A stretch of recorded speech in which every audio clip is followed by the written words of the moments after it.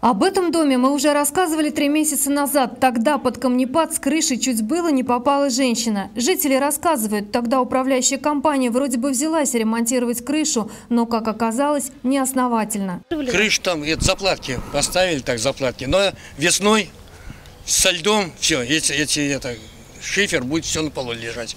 То есть это не капитальный Это не капитальный. Конечно, нет. Там у нас там эти доски все гнилые, все.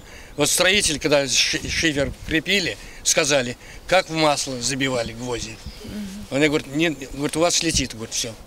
После ЧП с камнепадом жители собрали документы на проведение технической экспертизы по аварийности дома. Тогда им пообещали перенести капитальный ремонт с 2026 года на 2018.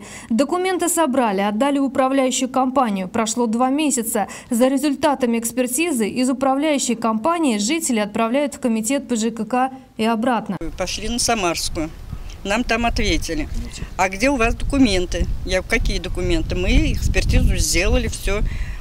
Управляющая компания должна нам передать. Документов нет никаких. Я говорю, куда нам идти? Идите опять в управляющий. Пошли туда. Он говорит, ждите, В управляющей компании «Экскон» не стали комментировать ситуацию нам. В комитете ПЖКК нам официально заявили, что никаких документов на обследование дома номер 7 по улице Парковой управляющая компания не предоставляла. Почему компания «Экскон» вводит в заблуждение жильцов? На этот вопрос, скорее всего, ответят правоохранительные органы. Татьяна Баловнева, Анжелика Боровинок. Наше время.